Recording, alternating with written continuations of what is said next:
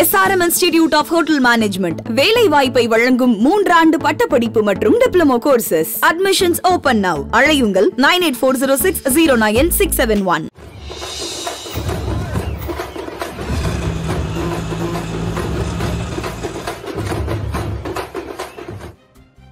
வணக்கம். வேந்தரின் நம்ம தமிழ்நாடு செய்திகளுக்காக நான் திகம்பரி சுந்தரேசன். நான் அருண் பாண்டியன். இன்றைய நாளின் முக்கிய செய்திகளை மாவட்ட வாரியாக தற்போது பார்க்கலாம். சிவகங்கை மாவட்டம் காளையார்கோவில் அருகே கோவில் திருவிழாவை முன்னிட்டு மாட்டு வண்டி பந்தயம் விறுவிறுப்பாக நடைபெற்றது. கீழவளையம்பட்டியில் அமைந்துள்ள மகாலிங்கேஸ்வரர் கோவில் திருவிழாவை முன்னிட்டு மாட்டு வண்டி எல்கை பந்தயத்திற்கு ஏற்பாடு செய்யப்பட்டது.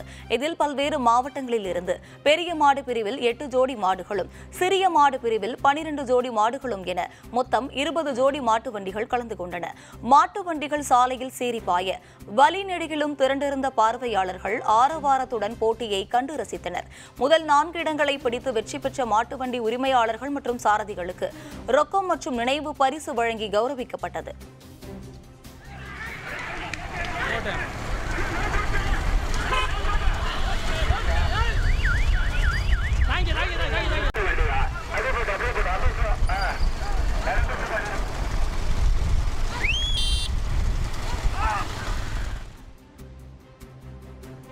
மயிலாடுதுறை மாவட்டம் தரங்கம்பாடி கடற்கரையில் நடைபெற்ற சாகர் கவாஜ் என்னும் பாதுகாப்பு ஒத்திகை நிகழ்ச்சியினை மாவட்ட ஆட்சியர் மகாபாரதி மற்றும் எஸ்பி உள்ளிட்டோர் நேரில் சென்று ஆய்வு மேற்கொண்டனர்.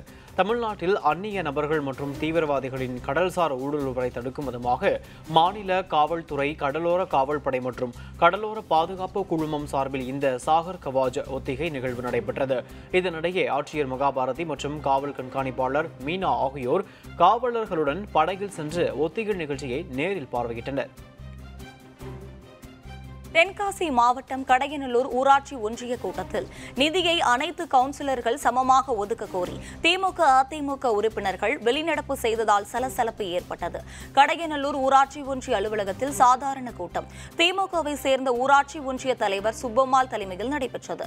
இந்த கூட்டத்தின் போது மக்களின் அடிப்படை வசதிகள் குறித்து விவாதிக்கப்பட்டது. அப்போது முறைப்படி கவுன்சிலர்களிடம் ஆலோசிக்காமல் தீர்மானங்களை நிறைவேற்றுவதாகவும் தன்னிச்சையாக செயல்படுவதாகவும் திமுக உள்பட ஆறு கவுன்சிலர்கள் குற்றம் சாட்டினர். இதையடுத்து தீர்மானத்தில் கையெழுத்திடாமல் அவர்கள் வெளிநடப்பு செய்ததால் சலசலப்பு ஏற்பட்டது. தஞ்சை தலைமை தபால் நிலையம் முன்பு மேகதாதுவில் அணை கட்ட அனுமதி அளித்த காவிரி மேலாண்மை ஆணையத்தை கண்டித்தும் கோரிக்கைகளை வலியுறுத்தியும் விவசாயிகள் ஒப்பாரி வைத்து போராட்டம் நடத்தினர். அப்போது செய்தியாளர்களுக்கு பேட்டியளித்த மாவட்ட விவசாயிகள் சங்க செயலாளர் பாஸ்கர் காவிரி நீர் இல்லாமல் குறுவை சாகுபடி இழந்து உள்ள விவசாயிகளின் குடும்பங்களுக்கு சிறப்பு நிதி வழங்கும் திட்டத்தை அறிவித்திட வேண்டும் என கோரிக்கை விடுத்தார். பருவம் தவறி பெய்த மழையால் பாதிப்படைந்துள்ள நெல் வாழை உளுந்து ஆகியவற்றுக்கு உடனே நிவாரணம் வழங்கவும் வலியுறுத்தினார். கோரிக்கைகள் நிறைவேறும் வரை போராட்டம் நடந்து கொண்டேதான் இருக்கும் என்றும் அவர் தெரிவித்தார்.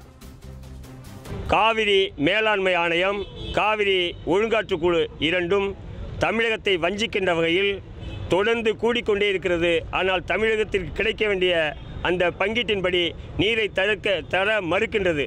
எனவே கர்நாடக அரசு அரசுக்கு துணை போகின்ற இந்த காவிரி மேலாண்மை ஆணையத்தை கண்டித்து இந்த போராட்டம் நடந்து கொண்டிருக்கிறது. ஏற்காடு சுற்றுவட்டார பகுதிகளில் பெய்து வரும் தொடர் கனமழையால் குளிர் தாக்கம் அதிகரித்துள்ளது. ஏழைகளின் ஊட்டி என அழைக்கப்படும் ஏற்காட்டில் கடந்த பத்து நாட்களாக மாலை மற்றும் இரவு நேரங்களில் கனமழை பெய்து வருகிறது. இதன் தொடர்ச்சியாக இன்று மாலை சுமார் ஒரு மணி நேரம் கனமழை கொட்டி தீர்த்தது. வாகன ஓட்டிகள் விளக்குகளை எரியவிட்டு செல்லும் நிலை ஏற்பட்டது. ஏற்காடு டவுன் செங்காடு வாழவந்தி நாகலூர் கரடியூர் ஒண்டிக்கடை உள்ளிட்ட பகுதிகளில் மழை கொட்டி தீர்த்தது. கனமழை காரணமாக ஏற்காடு சுற்றுவட்டார பகுதிகளில் குளிர் தாக்கம் அதிகரித்துள்ளது.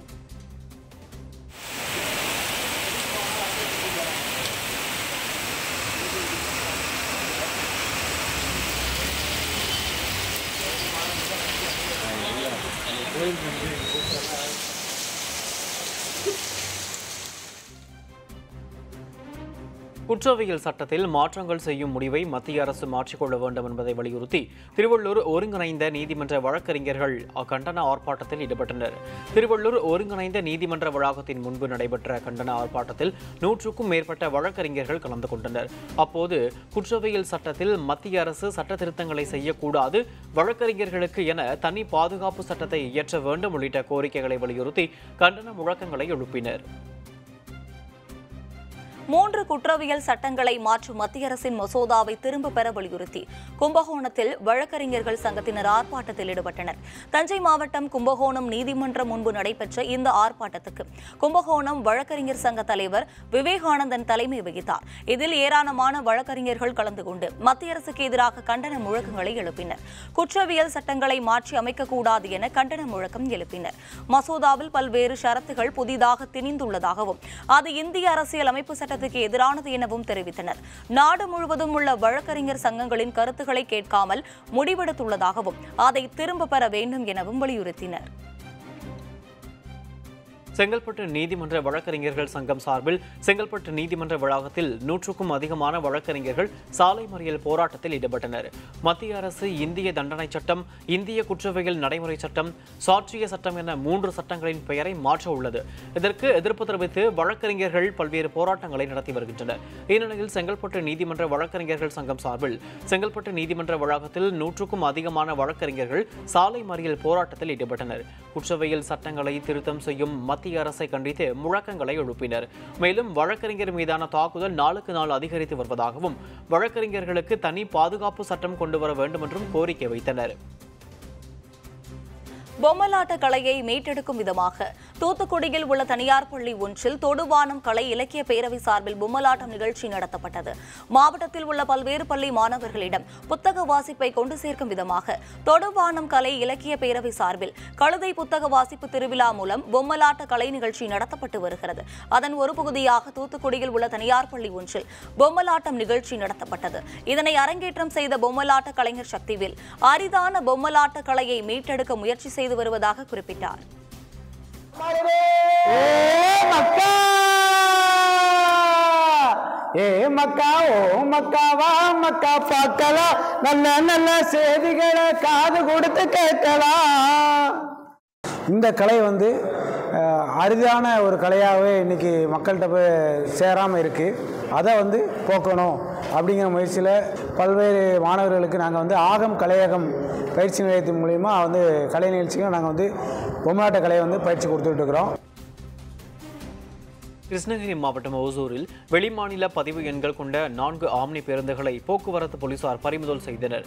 தமிழகத்தில் வெளிமாநில பதிவெண் கொண்ட ஆம்னி பேருந்துகளை இயக்க அனுமதி கிடையாது எனவும் தமிழக பதிவு எண்ணுக்கு மாற்றி இயக்க ஜூன் பதினெட்டாம் தேதி வரை கால அவகாசம் வழங்கி போக்குவரத்து துறை அறிவித்தது. கால அவகாசம் செவ்வாய்க்கிழமை முடிவடைந்த நிலையில் போக்குவரத்து துறையினர் தீவிர சோதனையில் ஈடுபட்டனர். அதன்படி ஓசூர் அருகே ஜூஜுவாடி சோதனை சாவடியில் போக்குவரத்து போலீசார் சோதனையில் ஈடுபட்டனர். அப்போது நாகாலாந்து மாநில பதிவெண் கொண்ட மூன்று ஆம்னி பேருந்துகள் பாண்டிச்சேரி பதிவு எண் கொண்ட ஒரு மினி பேருந்து என மொத்தம் நான்கு பேருந்துகளை பறிமுதல் செய்து அதிரடி நடவடிக்கை மேற்கொண்டனர். கள்ளக்குறிச்சி சாராய உயிரிழப்பு விவகாரத்திற்கு முழு பொறுப்பேற்று முதலமைச்சர் மு ஸ்டாலின் தனது பதவியை ராஜினாமா செய்ய வேண்டும் என தூத்துக்குடி மாவட்ட காங்கிரஸ் கட்சி நிர்வாகி ஒருவர் வலியுறுத்தியுள்ளார். கள்ளக்குறிச்சியில் விச சாராயம் குடித்து நாற்பதுக்கும் அதிகமானோர் உயிரிழந்தனர். இந்த விவகாரத்தில் மாவட்ட ஆட்சியர் பணியிட மாற்றமும் எஸ்பி உள்பட பத்துக்கும் மேற்பட்ட காவல் அதிகாரிகள் தற்காலிக பணி நீக்கமும் செய்யப்பட்டுள்ளனர். இந்நிலையில் தூத்துக்குடி மாவட்டம் கோவில்பட்டி கோட்டாட்சியர் அலுவலகத்தில் காங்கிரஸ் வடக்கு மாவட்ட துணைத் தலைவரும் வழக்கறிஞருமான அய்யலுசாமி தீச்சட்டி மற்றும் ராஜீவ்காந்தி புகைப்படத்தை ஏந்தி சென்று புகார் மனு அளித்தார். குறிப்பாக காவல்துறையை சுதந்திரமாக செயல்பட அனுமதிக்க வேண்டும் என கோரிக்கை விடுத்தார். முன்னதாக கள்ளக்குறிச்சி சாராய உயிரிழப்புக்கு பொறுப்பேற்று முதலமைச்சர் தமது பதவியை ராஜினாமா செய்ய வேண்டும் என கண்டன முழக்கம் எழுப்பினார். பணி வழங்கு பணி வழங்கு. உடனே கள்ளக்குறிச்சி எஸ்பிக்கு பணி வழங்கு. ரத்து செய் ரத்து செய். கள்ளக்குறிச்சி எஸ்பி பணி நீக்கத்தை ரத்து செய். யாரையாவது பதவி நீக்க நினைத்தால் முதல்வரே ராஜினாமா செய். ராஜினாமா செய். முதல்வரே ராஜினாமா செய். அதை விட்டுவிட்டு எஸ்பியை ராஜினாமா செய்ய வைக்காதே. கள்ளச்சாராய மரணத்திற்கு முதல்வரே பொறுப்பு. சர்வதேச யோகா தினத்தை முன்னிட்டு கும்பகோணம் கார்த்திக் வித்யாலயா பள்ளி மாணவர்கள் பல்வேறு யோகாசனங்களை செய்து அசத்தினர். ஒவ்வொரு ஆண்டும் சர்வதேச யோகா தினம் ஜூன் இருபத்தொன்றாம் தேதி அனுசரிக்கப்படுகிறது. இதனை முன்னிட்டு பல்வேறு பள்ளிகளில் யோகா நிகழ்வு நடத்தப்பட்டு வருகிறது. அதன் ஒரு பகுதியாக தஞ்சாவூர் மாவட்டம் கும்பகோணத்தில் உள்ள கார்த்திக் வித்யாலயா பள்ளியில் யோகா நிகழ்ச்சி நடைபெற்றது. இதில் முன்னூற்றுக்கும் மேற்பட்ட மாணவர்கள் கலந்து கொண்டு பல்வேறு யோகாசனங்களை நிகழ்த்தி காட்டினர். கள்ளக்குறிச்சி விஷ சாராய பலி தொடர்பாக வழக்கை நாளை விசாரணைக்கு எடுத்துக்கொள்ள சென்னை உயர்நீதிமன்றம் ஒப்புதல் தெரிவித்துள்ளது. கருணாபுரம் பகுதியில் விஷ சாராயம் குடித்து நாற்பதுக்கும் அதிகமானோர் பலியான சம்பவம் தொடர்பாக சென்னை உயர்நீதிமன்றத்தில் நீதிபதிகள் கிருஷ்ணகுமார் மற்றும் குமரேஷ் பாபு அமர்வில் அதிமுக வழக்கறிஞர் அணி செயலாளர் இன்பதுரை மற்றும் வழக்கறிஞர் டி செல்வம் ஆகியோர் முறையீடு செய்தனர். விஷ சாராய விவகாரம் தொடர்பாக சிபிசிஐடி விசாரிப்பது முறையாக இருக்காது என்பதால் சிபிஐ விசாரணைக்கு உத்தரவிட வேண்டும் என்ற கோரிக்கை விடுக்கப்பட்டுள்ளது. வழக்கை அவசர வழக்காக விசாரணைக்கு எடுத்துக்கொள்ள வேண்டும் எனவும் கோரிக்கை விடுக்கப்பட்டது. விசா சாராய விவகாரம் தொடர்பான வழக்கு சிபிசிஐடிக்கு மாற்றப்பட்டு விசாரணை தொடங்கப்பட்டுள்ளதாகவும் மாவட்ட ஆட்சியர் பணியிட மாற்றம் செய்யப்பட்டிருக்கிறார் எனவும் காவல் கண்காணிப்பாளர் பணியிடை நீக்கம் செய்யப்பட்டிருக்கிறார் என்றும் தமிழக அரசு தரப்பில் விளக்கம் அளிக்கப்பட்டது. இதையடுத்து வழக்கை தாக்கல் செய்ய அனுமதி அளித்த நீதிபதிகள் இந்த வழக்கை நாளை விசாரணைக்கு எடுத்துக் கொள்வதாக ஒப்புதல் தெரிவித்தனர். சேலம் மாவட்டம் ஆத்தூர் அருகே மணி விழுந்தான் கிராமத்தில் பால் பாக்கெட் போல சாராய பாக்கெட்டை இருசக்கர வாகனத்தில் எடுத்துச் சென்று பொது வெளியில் வைத்து விற்பனை செய்துள்ளனர். சாராயம் விற்பனை தலைவிரித்து ஆடுவதாக வேதனை தெரிவித்துள்ள அப்பகுதி மக்கள் காவல்துறை கடுமையான நடவடிக்கை எடுக்க வேண்டும் என கோரிக்கை விடுத்துள்ளனர். பொதுவெளியில் பைக்கை நிறுத்தி பாக்கெட் சாராயம் விற்பனை செய்த காட்சி இணையத்தில் பரவி வருகிறது.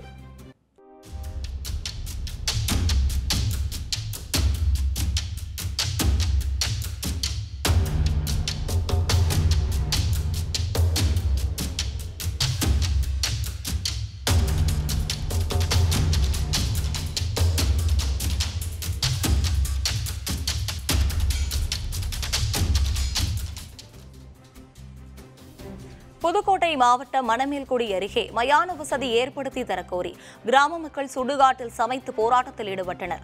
காரக்கோட்டை திருவள்ளுவர் நகர் சிங்கவனம் வாடிவாசல் ஆகிய கிராம மக்கள் மயானத்திற்கு செல்ல வழக்கமாக பயன்படுத்தி வந்த வழித்தடத்தை இரண்டாயிரத்து பதிமூன்றாம் ஆண்டு தனிநபர் ஒருவர் தனக்கு சொந்தம் என கூறி வேலியமைத்துள்ளார்.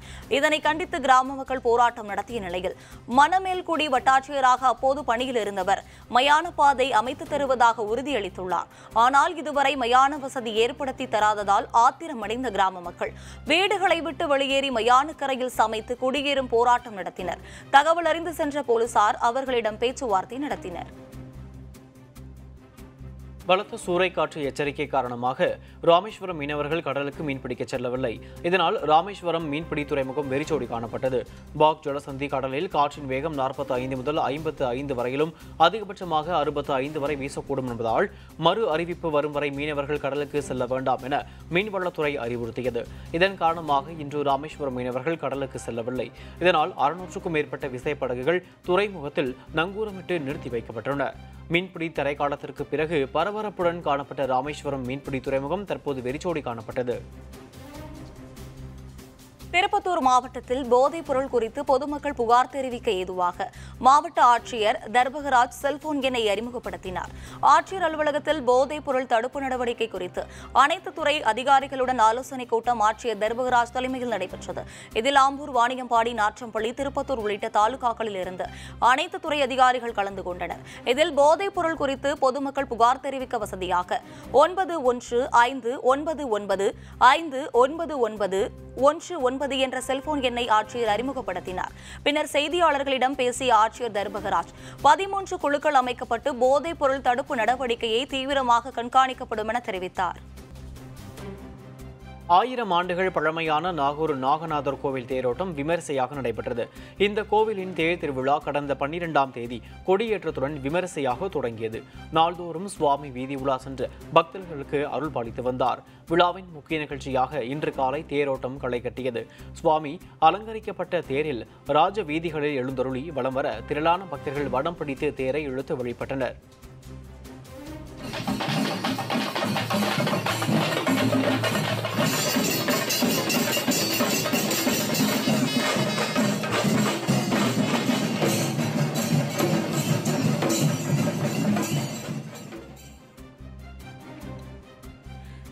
சிவகங்கை அருகே உள்ள புல்வநாயகி அம்மன் கோவில் வெள்ளி தேர் திருவிழாவில் திரளான பக்தர்கள் கலந்து கொண்டு சுவாமி தரிசனம் செய்தனர். பாகனேரியில் அமைந்துள்ள புல்வநாயகி அம்மன் கோவில் ஆணி திருவிழா கடந்த ஜூன் பதிமூன்றாம் தேதி காப்பு கட்டுதலுடன் தொடங்கியது. நாள்தோறும் புல்வநாயகி அம்மாள் பல்வேறு அலங்காரத்தில் வீதி உலா சென்று பக்தர்களுக்கு காட்சியளித்தார். ஐந்தாம் நாள் நிகழ்வாக பூக்களால் அலங்கரிக்கப்பட்ட வெள்ளி தேரில் புல்வநாயகி அம்மன் எழுந்தருளினார். அப்போது அம்பாளுக்கு சிறப்பு பூஜை நடத்தப்பட்டு கோபுர தீபம் கும்ப தீபம் நாகதீபம் மற்றும் உதிரி பூக்களால் அர்ச்சனை அர்ச்சனைகள் செய்து தீபாராதனை காண்பிக்கப்பட்டது. பின்னர் மங்கள வாத்தியங்களுடன் திருவீதி புறப்பாடு நடைபெற்றது.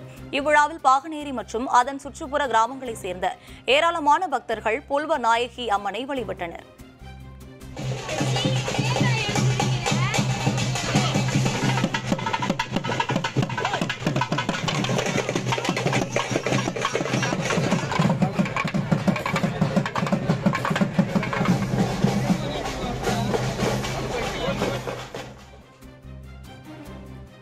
சிவகங்கை மாவட்டம் திருப்பத்தூர் அருகே எண்ணூறு ஆண்டுகள் பழமையான மீனாட்சி சொக்கநாதர் கோவிலில் திருக்கல்யாண வைபவம் விமரிசையாக நடைபெற்றது. முறையூரில் அமைந்துள்ள மீனாட்சி சொக்கநாதர் கோவிலில் ஆணி திருமஞ்சன திருவிழா கடந்த பன்னிரெண்டாம் தேதி காப்பு கட்டுதலுடன் விமரிசையாக தொடங்கியது. விழாவின் முக்கிய நிகழ்வாக மீனாட்சிக்கும் சுந்தரேஸ்வரருக்கும் திருக்கல்யாண வைபவம் நடைபெற்றது. திருமணத்தை முன்னிட்டு ஏராளமான பக்தர்கள் கல்யாண சீர்வரிசை பொருட்களை கொண்டு வந்தனர். அதன் தொடர்ச்சியாக சொக்கநாதர் அன்னை மீனாட்சி ஆகியோர் திருமண அலங்காரத்தில் மணமேடையில் எழுந்தருளினர். பின்னர் சொக்கநாதர் அம்மனுக்கு மாங்கல்யம் அணிவிக்கும் நிகழ்வு நடைபெற்றது. இந்த நிகழ்ச்சியில் ஆயிரத்திற்கும் மேற்பட்ட பக்தர்கள் கலந்து கொண்டு உற்சவர் மற்றும் அம்பாளை தரிசனம் செய்தனர். மயிலாடுதுறை மாவட்டம் குத்தாலம் அருகே திரௌபதியம்மன் கோவில் தீமிதி திருவிழா கோலாகலமாக நடைபெற்றது. வில்லியநல்லூர் கிராமத்தில் அமைந்துள்ள திரௌபதியம்மன் கோவிலின் ஒன்பதாம் ஆண்டு தீமிதி திருவிழா கடந்த மாதம் முப்பத்து ஓராம் தேதி கொடியேற்றத்துடன் தொடங்கியது. பின்னர் அம்மன் திருக்கல்யாணம் மற்றும் சுவாமி புறப்பாடு உள்ளிட்ட நிகழ்வுகள் நடைபெற்றன.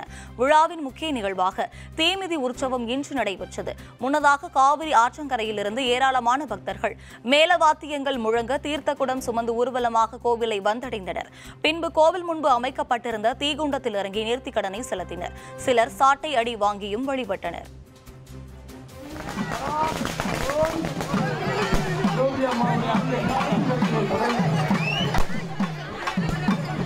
நேர சாமி விடுங்கண்ணா. தீக்குழியார் ஓரமா நின்னுங்க குடையானதும் இளைஞர் நற்பணி மன்றத்தினர்கள் குடையானதும் சென்னையில் போலி ஆவணம் மூலம் சிம் கார்டுகள் வாங்கி அதை ஆன்லைன் மோசடிக்கு பயன்படுத்துவதற்காக வெளிநாட்டுக்கு அனுப்பிய எட்டு பேர் கைது செய்யப்பட்டனர். சென்னை மீனப்பாக்கம் விமான நிலைய குடியேற்றத்துறை அதிகாரி அனில்குமார். கடந்த ஞாயிற்றுக்கிழமை மலேசியா செல்லும் விமானத்தில் புறப்பட தயாராக இருந்த பயணிகளை சோதனையிட்டார். அப்போது மலேசியாவை சேர்ந்த லீ டைக் ஈன் என்ற பயணியை சோதனையிட்ட போது அவர் ஆன்லைன் மோசடி கும்பலிடம் விற்பதற்காக இருபத்தி இரண்டு சிம் கார்டுகள் கொண்டு செல்லவிருந்தது தெரியவந்தது. அந்த சிம் கார்டுகளை போலி ஆவணங்கள் மூலம் தமிழக தமிழகத்தில் வாங்கியதாகவும் தெரிய வந்துள்ளது தொடர் விசாரணை மேற்கொண்டு வந்த போலீசார் மலேசியா மற்றும் தமிழகத்தின் பல்வேறு இடங்களைச் சேர்ந்த எட்டு பேரை கைது செய்துள்ளனர். இவர்களிடமிருந்து ஐநூற்று ஐம்பது சிம் கார்டுகள் மடிக்கணினிகள் முப்பத்து மூன்று வங்கி கணக்கு புத்தகங்கள் இருபது ஏடிஎம் கார்டுகள் விலை உயர்ந்த கார் ஆகியவை பறிமுதல் செய்யப்பட்டன.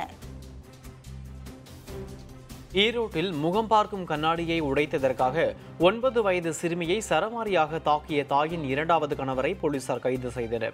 வீரபஞ்சத்திரம் பகுதியைச் சேர்ந்த தமிழ்ச்செல்விக்கு ஒன்பது வயதில் ஒரு குழந்தை உள்ளது. கடந்த ஆறு ஆண்டுகளுக்கு முன்பு கணவரை பிரிந்த தமிழ்ச்செல்வி நவீன்ராஜ் என்பவரை இரண்டாவது முறையாக திருமணம் செய்து வாழ்ந்து வருகிறார்.